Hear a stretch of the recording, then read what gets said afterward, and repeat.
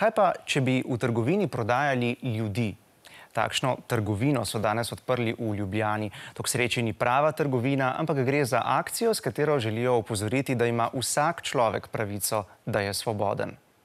Pogled v izložbo in notranjost trgovine z ljudmi v središču Ljubljane opozarja na to, kar se dogaja po vsem svetu in v Sloveniji, ter povzema zgodbe žrtev.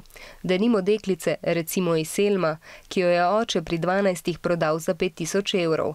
Kupil jo je neki moški, da bi postala njegova žena. Deklice ni nihče vprašal, kaj ona misli o tem. Vzeli so jo svobodo, postala je sužnja, a ne takšna, v kakršnih se učite pri zgodovini. Današnja oblika trgovanja z ljudmi je bistveno bolj prikrita in zaradi tega tudi toliko bolj nevarna. Ne?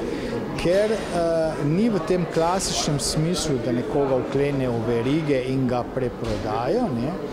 temveč ga nek poseben specifičen način izkoriščajo. To naredijo tako, da naprimer obljubijo dobro službo v tujini, potem pa človeka izkoriščajo in mu ne dajo plačila.